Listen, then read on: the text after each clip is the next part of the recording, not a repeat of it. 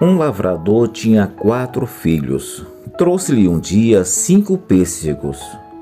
Os pequenos, que nunca tinham visto semelhantes frutos, extasiaram-se diante de suas cores e da fina penugem que os cobria.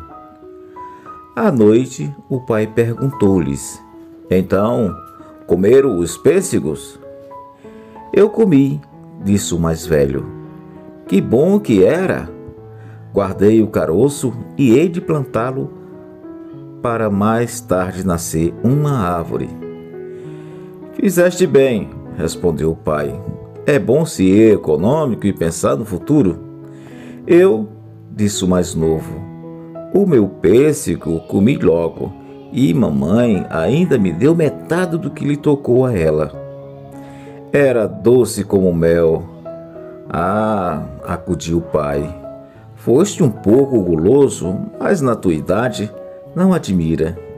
Espero que, quando fores maior, te há de corrigir, pois eu cá, disse o terceiro, apanhei o caroço que meu irmão deitou fora, quebrei e comi o que estava dentro, que era uma noz.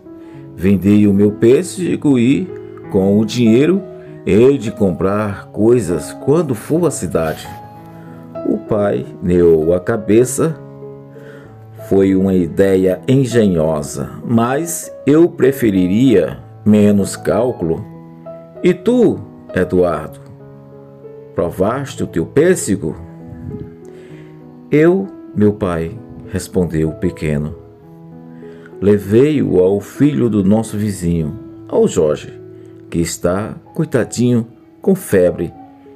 Ele não queria, mas deixei lá em cima da cama e vim-me embora. Ora bem, perguntou o pai, qual de vós é que empregou melhor o pêssego que eu lhe dei? E os três responderam a uma voz.